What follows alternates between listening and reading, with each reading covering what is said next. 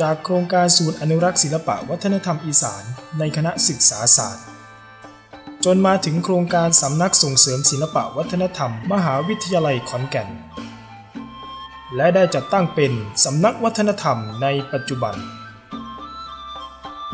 สำนักวัฒนธรรมมีจุดประสงค์ในการส่งเสริมการศึกษาค้นคว้าวิจัยทางศิลปะวัฒนธรรม และภูมิปัญญาท้องถิ่น สนับสนุนการใช้วัฒนธรรมในการส่งเสริมความเข้มแข็งของชุมชน และเป็นศูนย์กลางการดำเนินกิจกรรมการอนุรักษ์เผยแพร่ และส่งเสริมการเรียนรู้วัฒนธรรมภูมิปัญญาท้องถิ่นและของชาติ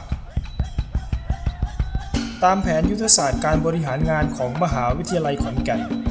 สำนักวัฒนธรรมจึงดำเนินงานตามเป้าประสงค์เพื่อให้บรรลุเป้าหมาย ในการอนุรักษ์ส่งเสริมวิจัย และประยุกต์ใช้ศิลปะและวัฒนธรรม พื่อรักษาคุณค่า เพิ่มมูลค่าในระดับชาติ และอนุภูมิภาคลุ่มน้ำโขงตลอดจนการเชื่อมโยงองค์ความรู้ด้านศิลปะวัฒนธรรม ไปสู่กระบวนการเรียนการสอนในระดับต่างๆ ต่อไป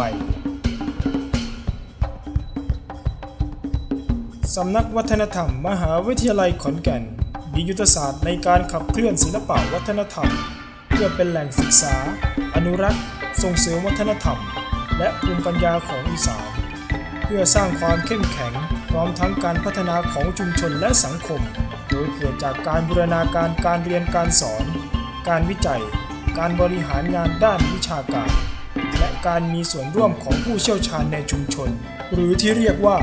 ปราชญ์ชาวบ้าน